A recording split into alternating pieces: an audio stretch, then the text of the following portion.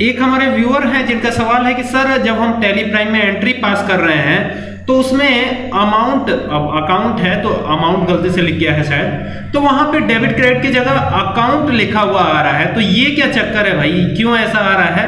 तो इसके लिए सबसे पहले आप मोड देख लीजिए। यहाँ पे आप मोड में आएँगे तो चेंज मोड दिया हुआ है, ठीक है? तो ये सिंगल एंट्री और डबल एंट्री का चक्कर हो सकता है तो यहाँ सिंगल एंट्री मोड आप अप्लाई कर दीजिए। तो यहाँ पे अकाउंट आ जाएगा और इसी चीज़ को यहाँ से change mode control H press कर लीजिए शॉर्टकट की। आप चाहे तो वहाँ क्लिक करके भी जा सकते हैं और डबल एंट्री कर दीजिएगा। तो यहाँ पे डेबिट क्रेडिट शो होने लगेगा। तो बस यही चक्कर है, इसीलिए आपका यहाँ पे डेबिट क्रेडिट नहीं शो कर रहा है। ये बहुत आसान है, ठीक है? उम्मीद करता हूँ प्रॉब्लम आपकी सॉल्व हो जाएगी।